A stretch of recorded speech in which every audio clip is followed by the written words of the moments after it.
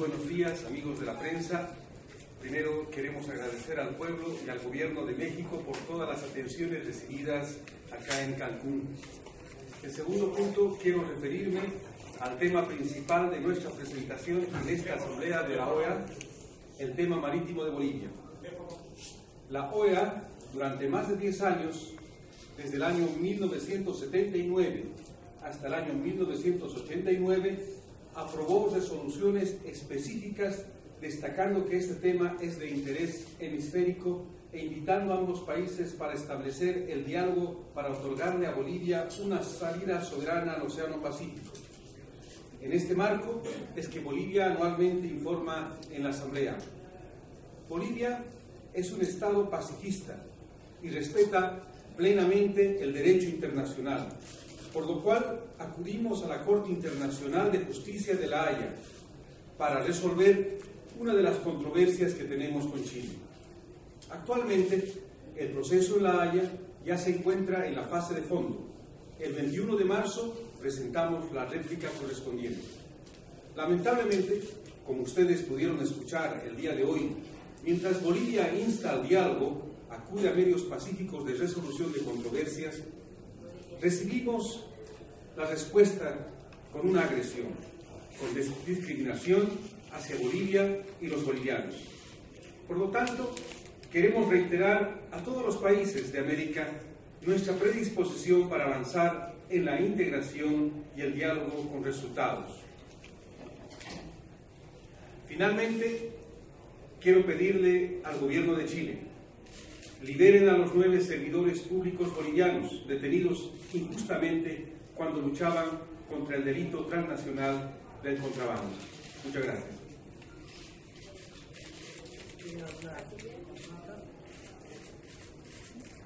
Eh, canciller, disculpe, mi, mi pregunta va más sobre el tema de Venezuela. Ah, ¿Puedo preguntar sobre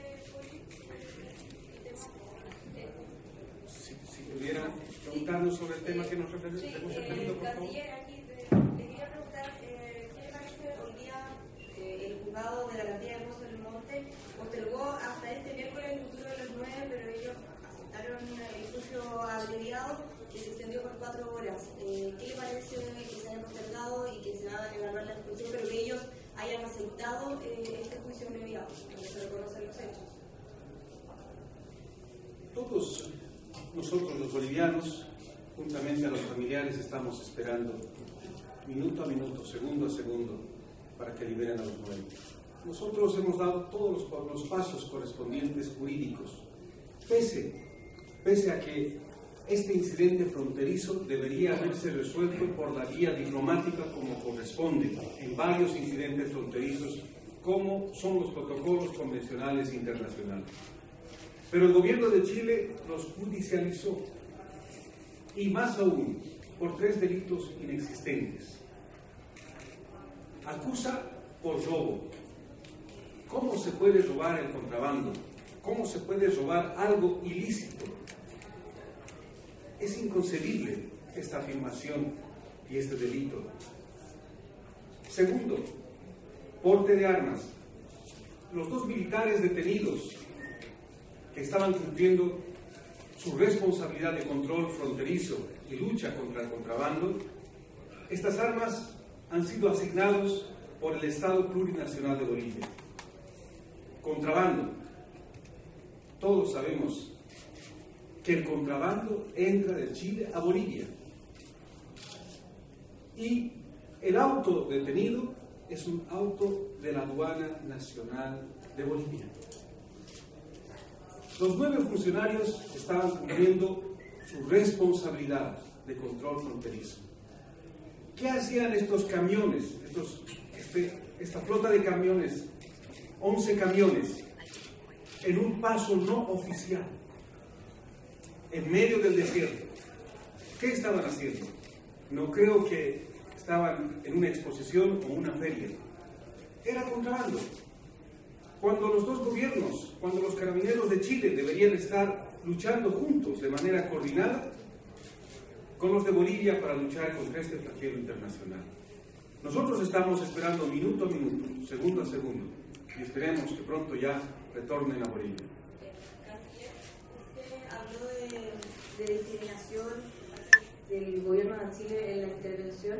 Sin embargo, el canciller Heraldo Muñoz eh, acusa agresiones por parte de Bolivia, como por ejemplo que los trataron de dementes, eh, incluso eh, agresiones a la presidenta de la República. ¿Ustedes eh, reconocen tal vez ese tono que han solicitado la demanda de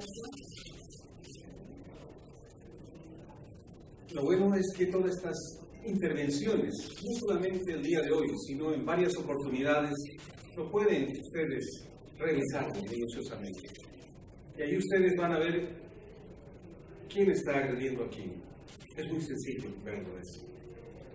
La paz se construye, la paz no se impone, la paz no se hace a gritos, no se hace con amenazas.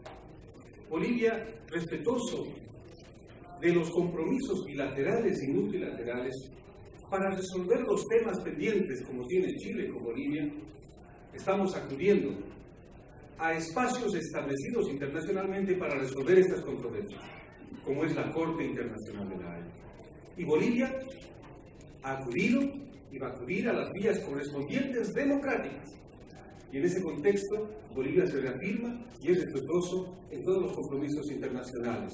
Nosotros hablamos de paz, pero cuando hablamos de paz es por la experiencia de haber resuelto a través del diálogo problemas internos de mi país.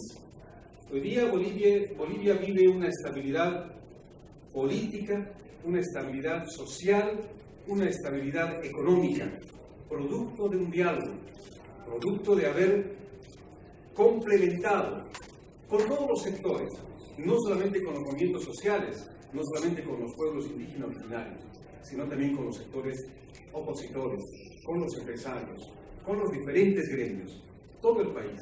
Y por eso hoy en día Bolivia ve de manera distinta el futuro. Y esa experiencia lo estamos llevando en los diálogos bilaterales y multilaterales. Nosotros en todas nuestras intervenciones siempre invitamos Chile, al gobierno de Chile, porque nosotros con el, con el pueblo de Chile tenemos permanentes diálogos a través de la diplomacia de los pueblos, en los diálogos de nuestras organizaciones, en los diálogos entre pueblos indígenas originarios. En ese contexto, nuevamente reiteramos que la única forma de solución, más aún cuando hablamos de hermandad, cuando hablamos de integración, no vamos a poder avanzar en la integración si hay temas pendientes. Por lo tanto, más aún, deberíamos estar preparándonos todos los países de la región, del continente, ante situaciones como son los efectos del cambio climático, que va a necesitar una respuesta global y unificada de nuestros países. ¿Cómo van a recibir a los bolivianos en, caso de que sean expulsados? Primero, nosotros estamos esperándolos, esperándolos. Las familias están consternadas. Son hijos que tienen familias, son esposos. Todas las familias están esperándolos. Obviamente el sentimiento. Ninguno de los que está acá presente estaría contento cuando uno de sus seres queridos estuviera detenido injustamente, injustamente. Y eso es lo que nosotros estamos pidiendo y estamos esperando primero que retornen. Van a, van a ser recibidos con mucho cariño y con mucha alegría y por todos nosotros, porque en realidad los nueve no son solo, solo ciudadanos comunes, son funcionarios del Estado plurinacional que estaban cumpliendo un rol asignado por el Estado plurinacional. Por lo tanto, han cortado ese trabajo asignado por Bolivia y estamos esperando su retorno y lo estaremos recibiendo todas las autoridades correspondientes.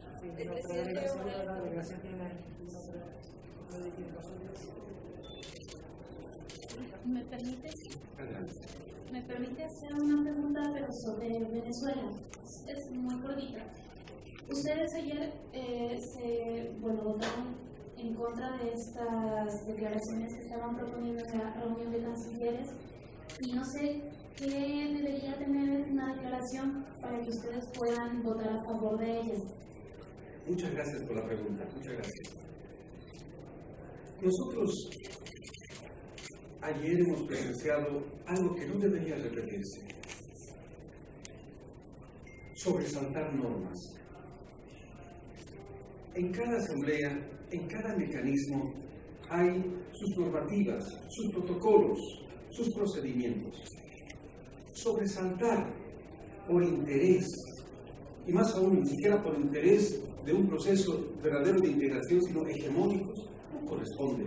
Nosotros habíamos acordado, ayer teníamos dos propuestas, uno de CARICOM y otro presentado por Perú y otros países. Cuando ellos presentaron un tercer documento, entre comillas consensuado, por lo menos como se refirió varios otros países, Bolivia no había conocido, no había conocido este documento hasta el momento en que nos sentamos para, para el evento. Nos colocaron en la mesa. Y más aún, ¿qué dijeron? Que, el, que estaba traducido al español no estaba completo. Y a uno de los países, Haití, no le dieron en su idioma correspondiente. ¿Cómo se puede aprobar en un organismo que tiene mecanismos democráticos, algo antidemocrático? ¿Cómo queremos ayudar a un pueblo imponiendo, más aún, entre los miembros? ¿De qué estamos hablando? Si verdaderamente queremos actuar con responsabilidad, se hace conocer todos.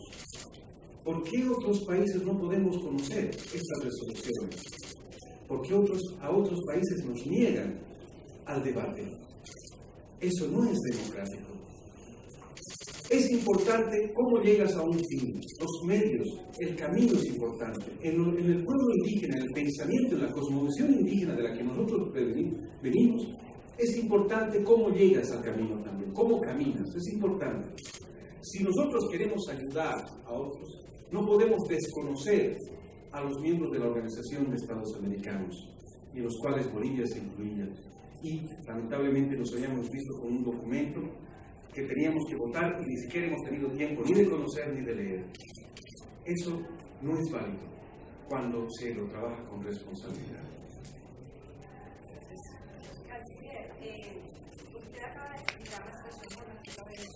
Gracias. acaba de explicar la situación con respecto a Venezuela y se trató de procedimientos. Sin embargo, el pueblo de Venezuela no puede esperar tantos días o tantos meses o incluso porque ya llevamos a 74 muertos en las calles de Venezuela tras estos ya 81 días de protestas. Eh, ¿Qué necesitaría Bolivia para colaborar en nombre del pueblo de Venezuela, no el gobierno de Venezuela? Que si bien tiene una representación válida en la Organización de Estados Americanos, la gente en mi país se está debatiendo un presente, ni siquiera un futuro, porque no lo suena. El presente del día de hoy es tan negro que no podemos esperar procedimientos o lecturas o traducciones. ¿Qué pudiera tener Bolivia de qué manera Bolivia pudiera apoyar al pueblo de Venezuela. Gracias. Muchas gracias por la pregunta. Bolivia, eh, cuando habla de paz y de diálogo, no lo hace desde la retórica solamente. Nosotros el año 2008, 2009, 2010 estuvimos en dificultades cuando teníamos problemas internos y acudimos a un diálogo entre todos, más aún esos poderes e intereses hegemónicos pretendieron dividir Bolivia, queriendo subir en una guerra civil. Nosotros entablamos un diálogo entre todos nosotros. Por eso nosotros permanentemente la palabra diálogo no solamente es retórica, sino es una experiencia profunda. En ese contexto hemos acudido al Papa, hemos acudido a otras instancias y creo que para Venezuela es importante que todos los actores, por eso nosotros identificamos incluso cuando el secretario general de la Organización de Estados Americanos debería estar llamando al diálogo, no puede estar incitando a la violencia. Es importante cuando alguien quiere resolver, no puede ser parte, se puede parcializar, es importante el diálogo entre todos, porque nada justifica una violencia ni una muerte. Por eso es importante Bolivia sigue llamando al diálogo, más aún, Bolivia propone a generar estos espacios verdaderos, porque recordemos que somos hermanos. Todos somos hermanos. Eso es muy importante. Nadie puede construir destruyendo. Nadie, nadie. Por lo tanto, Bolivia es un verdadero llamado a todos para que entremos en un diálogo. Y espero que los países también podamos unificarnos y verdaderamente nos llamamos hermanos. Muchas gracias.